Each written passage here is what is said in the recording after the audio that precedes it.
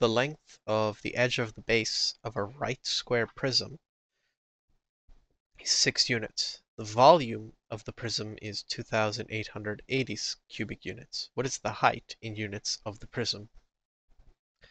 So we have a right square prism,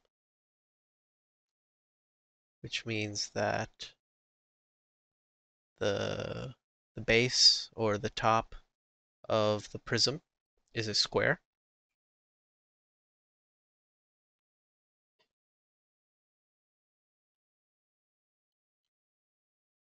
And we're told that the square on the bottom and the top has the length of 6 units.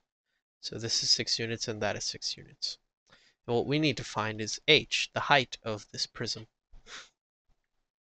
So the volume of any prism is equal to base times or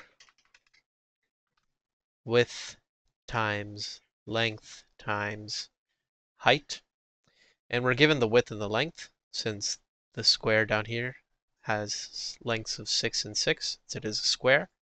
So this will just be 6 times 6 times the height. So the volume is going to be equal to 36H.